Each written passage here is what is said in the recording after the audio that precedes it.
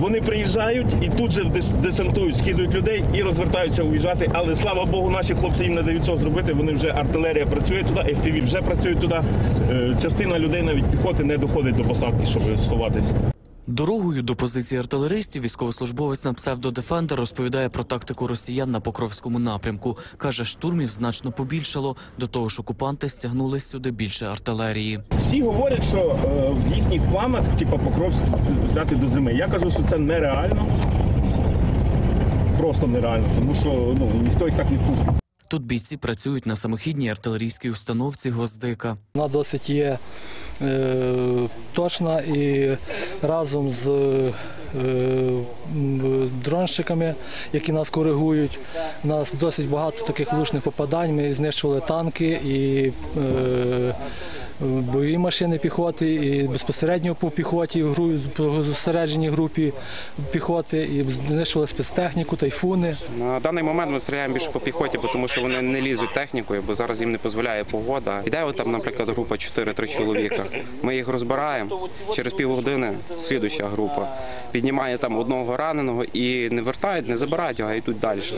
І отак кожен раз ну, нова хвиля, нова хвиля. Як тільки наші розвідники знаходять ціль, бійці за лічені хвилини наводяться та стріляють по ній.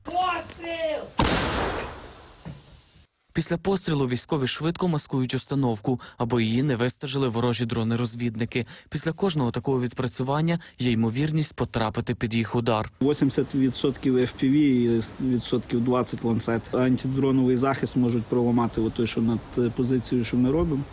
FPV вона по суті не, не або замотається, або спрацює задалеко. Ну вона шкоди такої не принесе машині. Поки цей розрахунок на бойовій роботі, їх колеги облаштовують новий копанір для артилерійської установки. За роботою інженерної техніки спостерігає Михайло, чоловік водій механік САУ Гвоздика. Треба години, чотири, щоб викопати бліндаж, викопати панір, викопати е, яму на снаряд.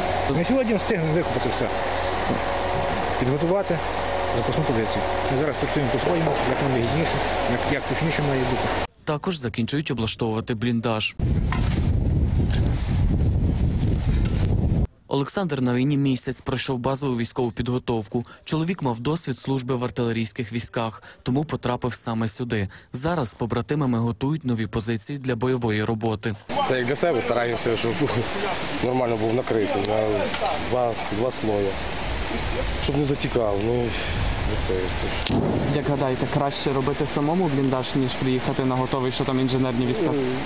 Ну, кажеться, що лучше самому то бачиш, бачиш, що, що зробив. Було б добре, щоб і інженерні ну, робили.